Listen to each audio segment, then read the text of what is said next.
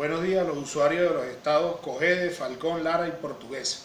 Quiero informar que a partir de este miércoles 21 a las 8 de la mañana abriremos el sistema de citas programadas para, para las legalizaciones y demás trámites de nuestros registros principales. Es importante resaltar que aquellas personas que acudan a partir del lunes 26 de marzo y no posean una cita como esta, que es la que arroja el sistema, no podrán ser atendidos.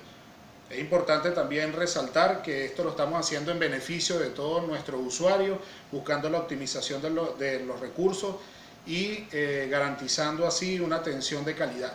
También es importante resaltar que este sistema no está restringiendo eh, la cita, se está manteniendo el mismo número de atenciones diarias, solo que se están distribuyendo de una mejor manera en el horario comprendido de 8 a 4 de la tarde, que es como funciona nuestra oficina.